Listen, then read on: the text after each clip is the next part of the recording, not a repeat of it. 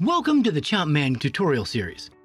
Based on the beloved classic arcade game Pac-Man, this project was created to be an easy-to-follow step-by-step guide that would give you the tools, techniques, and experience of creating a full game from start to finish.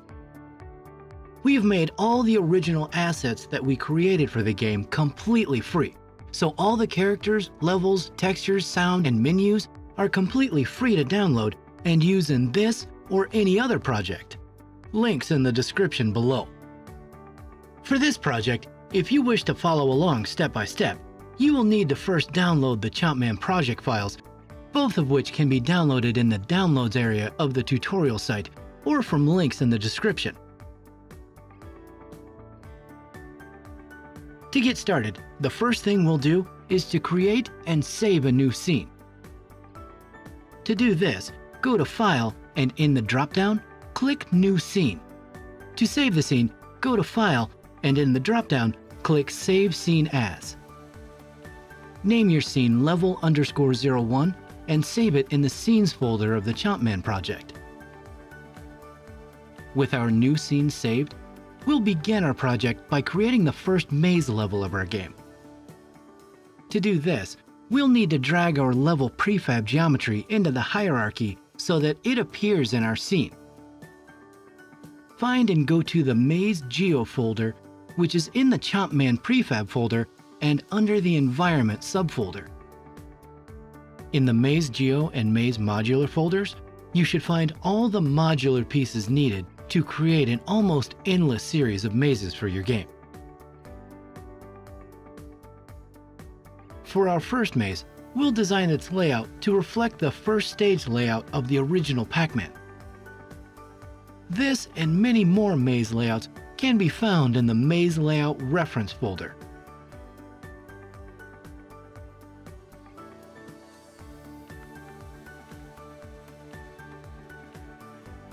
To begin, right-click in the hierarchy and create a new empty game object. We want this new game object to be positioned at 000, the origin of the 3D world. However, if it's not, click the cog on the upper right of the transform and select and click Reset. This will reset both an object's transform and its rotation. Next, we'll rename our game object to maze underscore 01. With our object named, drag and drop the stage ground prefab into the hierarchy and place it inside of maze 01, making the stage ground prefab a child of maze 01. It should also be positioned at 000. If it's not, click the cog to reset its transform. Next, we'll grab our stage mesh 01 and also place it as a child of Maze 01 game object. We can now begin using the modular pieces from the Maze Geo folder to create the maze from the reference photo. Additionally, by clicking the camera controls in the viewport, your camera viewport will snap to that angle, and by clicking the arrow or three horizontal lines under the camera controls, you can toggle to an orthographic or perspective view. In order to better match the layout of our maze to the reference, we'll temporarily rotate our Maze 01 game object 180 degrees in the y-axis. Doing this should point the opening in the Stage Mesh 1 geometry away from the camera. We'll also move our game camera to better reflect the view of the player. However, before doing that, let's first make some adjustments to the settings of our camera component. First, let's adjust our far clipping plane so it's not trying to render too much. The default is 1000, which is far beyond anything we'll have in our scene. So let's adjust the far clipping plane to 50 and the near clipping plane to 0.1. Next, we'll move and rotate our camera to get a more holistic view of the maze in our game view.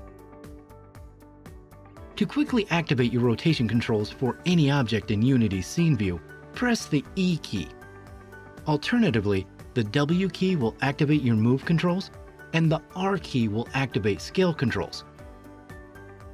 Conversely, you can also use the buttons at the upper left-hand section of the Unity editor window.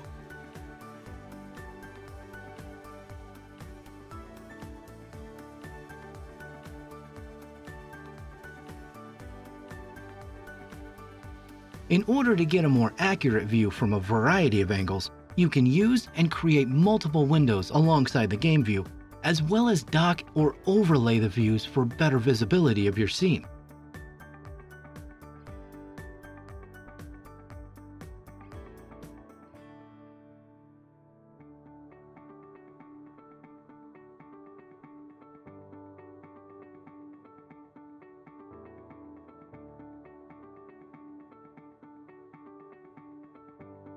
After placing one of the Maze Geo prefabs in the scene and selecting it, you should notice that each piece has its own corresponding mesh collider. The mesh collider the object uses is a simplified version of the geometry. With your camera and multiple viewports in place, use the reference images or copy the transform positions on screen to complete setting up the first maze. Remember to continue to make the maze pieces children of the Maze 01 game object.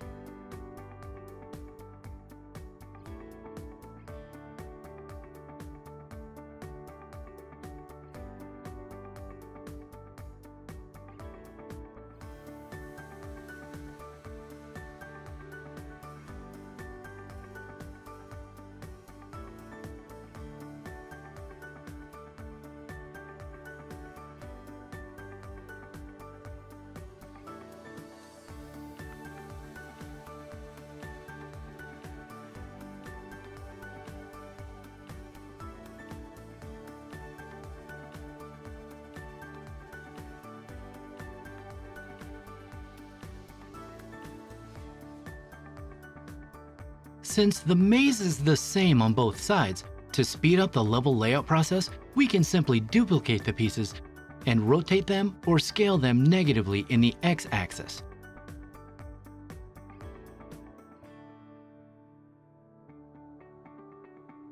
Since all the maze geo and pieces are modular, by holding V and moving a game object, the game object will automatically snap to the vertexes of the other objects in the scene.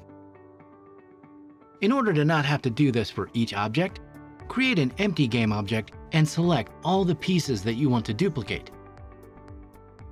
To select multiple game objects, hold or press Shift as you select them.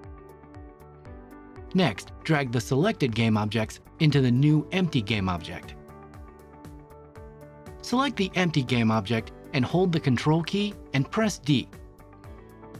This is the keyboard shortcut for duplicating anything in the inspector or your scene. With your newly duplicated object selected, change the scale transform to negative 1 in the x-axis. Now that both sides of the maze are in place, remove the maze pieces from the empty game objects and make the Maze01 game object the parent to all the pieces. Once that's complete, delete the two empty game objects. Now that the maze is fully complete, feel free to add, adjust, or remove any pieces to customize the maze to the way you envision it.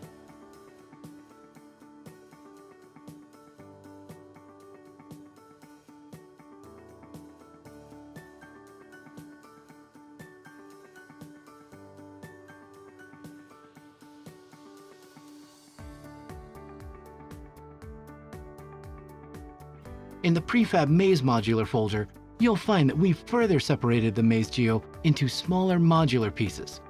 This should allow you to mix and match any aspect of the maze geo to create pieces of different lengths, shapes, and sizes. Remember, by holding the V key as you move objects, you can snap the vertexes to other game objects.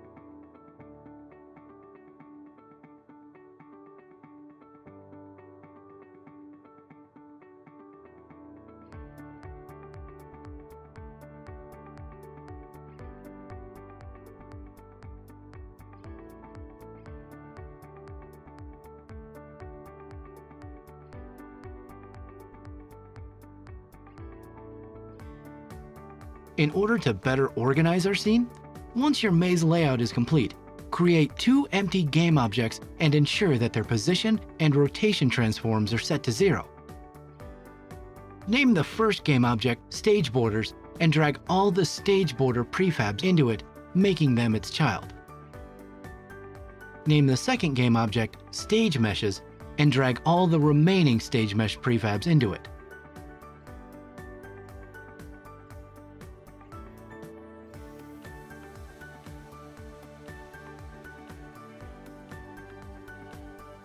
That completes our Maze 1 geometry setup.